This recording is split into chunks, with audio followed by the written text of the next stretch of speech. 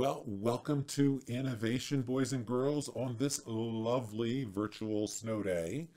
Today, we are going to do a fun little project in Scratch.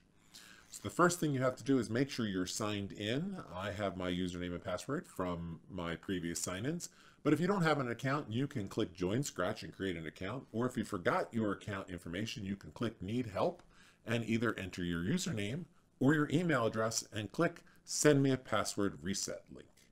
So I'm going to click sign in. And now I'm signed in and I'm going to click on create, which is this button way up here at the top. And I'm going to create a brand new project. So my brand new project is not going to involve the cat. I'm going to delete the cat. Bye cat.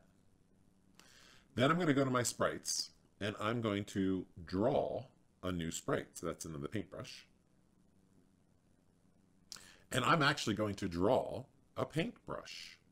So I'm not a great artist. Hopefully uh, you might be able to draw a little better than I can, but I'm going to click on the paintbrush tool. How ironic. And I like the color purple that's there. And I'm going to draw a little paintbrush. That's the tip. I'm going to fill it in. And now I'm going to change the color to like a brownish. Try to get to brown. There we go. And I'm going to draw the top of the paintbrush. Now notice where I drew it. I'll show you this in a second. But I drew it so the tip of the paintbrush was at that little crosshair. And I'll, I'll move it out of the way and show you how I drew it. And I'm going to fill this in brown. So now I have my paintbrush brown. But let me just move this out of the way to show you. And if you put it in the wrong spot, that's okay. You can move it. You see this little crosshair down here? Little cross X? Make it bigger. Maybe you can see it. See it right there?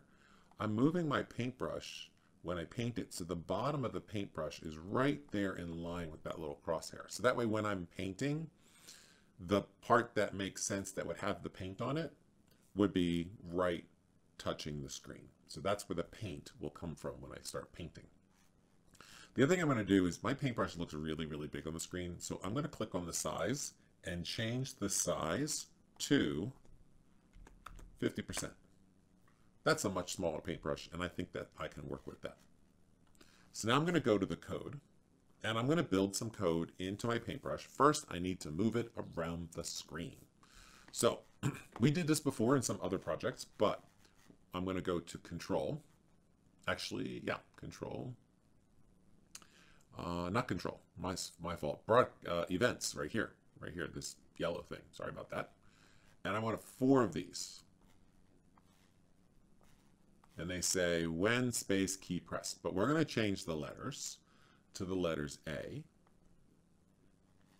D, W, and X. So now I have my four letters in. And I'm going to put some motion in here. And I want to change the X by 10. When I press the D key, that'll make it go to the right. I want to change the X by negative 10.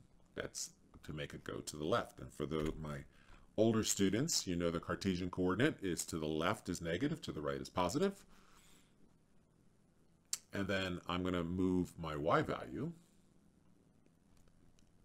when I press the W up by 10 and change the y value when I press the X key down by 10. So now I should be able to move my paintbrush all around the screen. Look at that. When to press the different keys and that's great.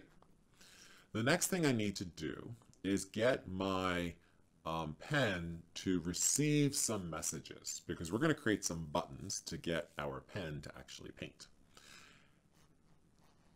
The messages I'm going to receive, so I need to go in to messages, are up. So when I receive up, and this is under events again, when I receive new message down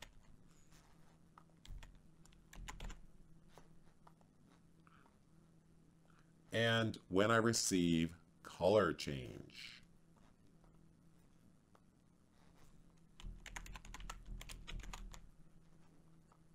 There we go. I need to make my pen react and draw on the screen. To do that, I have to add an extension, which is this little blue block down here. I click on it, I get all these different things that I can have access to. I want the pen blocks. So now I have a new set of blocks down here that I have access to. So when I receive up, I want the pen to be lifted up off the canvas. When I receive down, I want the pen to be pressed down on the canvas. And when I receive color change, I want to change the pen color by 10. So that way every time I get that message, I'm going to change the color. So now I have to create some things that will send the messages. So I'm going to create some new sprites. So I'm going to click on choose a sprite. And I decided to go with the, the button. That's a check mark for pen down. And the X for pen up. And I kind of like this magic wand that's down here. It's around here somewhere. I know I saw it. There it is. To change the color. Now, if you decide to do different buttons, that's just fine. Just remember that it should indicate what is supposed to happen. So when I click on the green check, I want the pen to go down. So I have to broadcast a message. So first I have to go to events and say when this sprite is clicked, make this bigger so you can see it. I want to go to and broadcast down. Perfect. Now I'm going to go to the X, and when this sprite is clicked, I want to broadcast up. So that lifts the pen up off the canvas. And let me do the magic wand. When I receive color change, oops, the wrong one. Let's see. When this sprite is clicked, I want to broadcast color change. So let me click on my sprite one again. And if we want, we can rename this sprite because I like naming things. We can call this the brush. And I can click on button four and I can name it pen down.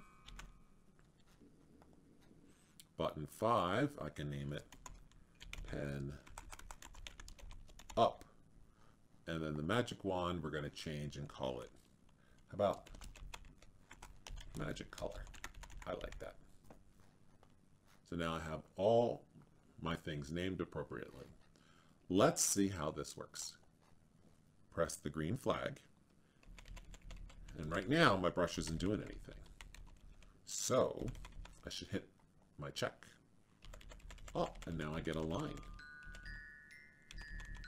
Look at that. If I press the X, it goes away.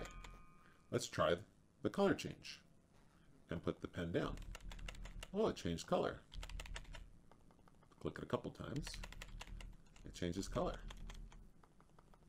So now I can draw some pretty cool pictures with my paintbrush. I think that is pretty awesome. So you can go ahead and play with the other pen tools. So there's a, if you wanted to create a button to erase everything, create a button to erase everything. If you wanted to create a stamping tool, you could use a stamper. Maybe I'll do that. Let's create a stamping tool real quick.